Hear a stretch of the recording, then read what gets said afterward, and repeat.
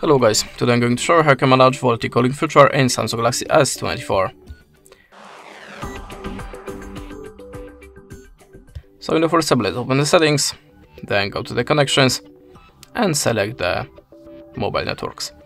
As you can see there are VoLTE calls, so you can manage this function by the the switcher, so just switch it on or switch it off like you wish. And that's it. If you want to improve quality of your calls, keep it activated. Thanks for watching, leave us a like or a comment and goodbye. Thank you.